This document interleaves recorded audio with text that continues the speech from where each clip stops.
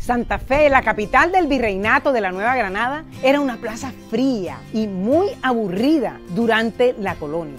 Los únicos entretenimientos eran los bailes, los ambigus, así llamaban a aquellas suntuosas comidas que se ofrecían en las señoriales mansiones de los personajes más ricos de la nobleza criolla. Pero obviamente eso no era todos los días por lo que alguien tuvo la brillante idea de montar la primera obra de teatro en la historia de Bogotá.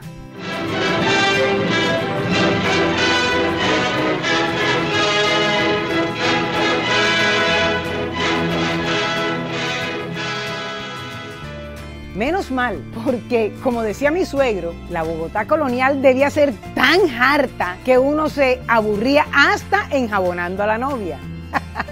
Para hacer méritos con el virrey y de paso brindar entretenimiento a la nobleza criolla, el comandante y los oficiales del batallón auxiliar sorprendieron con una maravillosa iniciativa. Lo cierto es que la idea original había sido de Manuel del Socorro Rodríguez, un periodista cubano, una muy acertada adquisición del virrey Espeleta para fundar el periódico de Santa Fe. Fue él quien adaptó el texto, que fue un trabajo titánico, porque la obra original era una novela súper larga y él logró reducirla a tres horas. Claro que se contó con el entusiasmo de la jerezana. Así llamaban a Rafaela Isasi, la nuera del marqués de San Jorge, que era la esposa de José María Lozano. Fue ella la encargada del montaje de la obra, que fue actuada por ella misma y por un grupo de damas y caballeros de la corte virreinal de Santa Fe. Fue así como sorprendieron a todos los señores del batallón, el periodista Rodríguez y el improvisado pero muy entusiasta elenco a toda la nobleza criolla, con la obra de teatro llamada El delincuente honrado, que se representó la noche del 6 de noviembre de 1791. El comandante del batallón dijo unas palabras para dedicar la obra al virrey Espeleta. La representación se llevó a cabo en el entonces nuevo cuartel, que estaba ubicado al lado del convento de San Agustín. El delincuente honrado es una tragicomedia sentimental escrita por Gaspar de Jovellanos, que se había estrenado en Madrid 14 años antes, en 1777. Al estreno asistieron unos 150 invitados, pero la nueva entretención gustó tanto que hubo otro estreno dos semanas después, pero esa vez fue la virreina quien organizó la velada en el Palacio Virreinal, que por cierto no era el original que se había incendiado cinco años antes, sino que aún estaban en la sede provisional que estaba ubicada en la esquina de la calle 11 con carrera octava. Nuevamente le hicieron los honores al virrey y su esposo, contando de nuevo, y cómo no, con la jerezana y su elenco.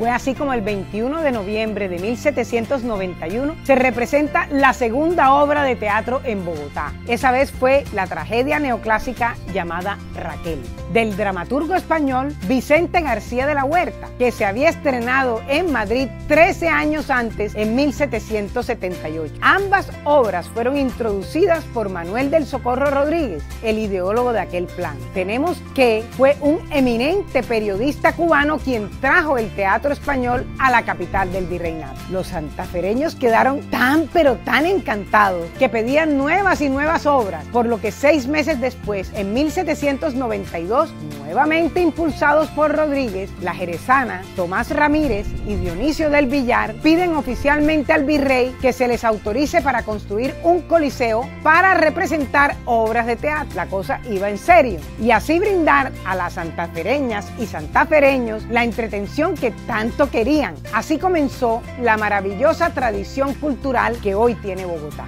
Se construyó el Teatro del Coliseo, inaugurado en 1793, que quedaba enfrente del antiguo Colegio de San Carlos, expropiado a los jesuitas en una de sus tantas expulsiones.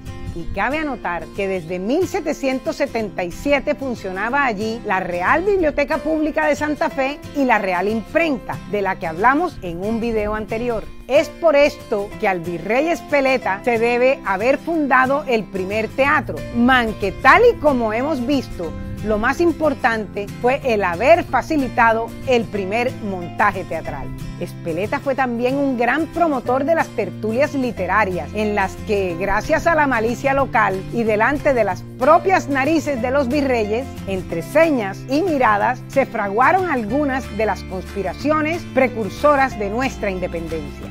Para celebrar semejante acontecimiento, el virrey y el cabildo de Santa Fe dispusieron que en adelante esa calle se llamara Calle del Coliseo, que es la actual calle 10 entre carreras quinta y sexta. El sitio se llamó Coliseo de Ramírez por ser Tomás Ramírez su constructor y propietario. Después en la República lo compró Bruno Maldonado y pasó a llamarse Teatro Maldonado hasta 1889 que fue demolido para construir el actual Teatro Colón, que fue inaugurado en octubre de 1892, que por cierto es otro de los lugares a los que se debe cambiar el nombre y ponerle, por ejemplo, Teatro Santiago García, en homenaje al maestro fundador del Teatro El Búho en 1958. Al igual que en Cartagena, muy a tiempo, por cierto, se suprimió el nombre de otro genocida. Nuestro teatro acá en Cartagena se llama Adolfo Mejía, en honor al gran músico cartagenero. Hasta aquí la obra sobre el inicio del teatro en Bogotá. Cuéntanos si crees que se debe cambiar el nombre del Teatro Colón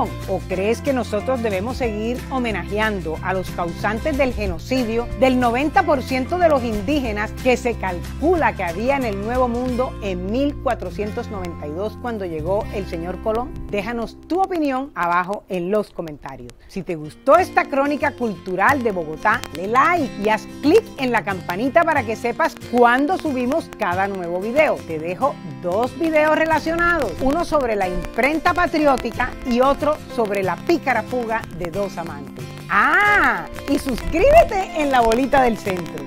¡Hasta pronto!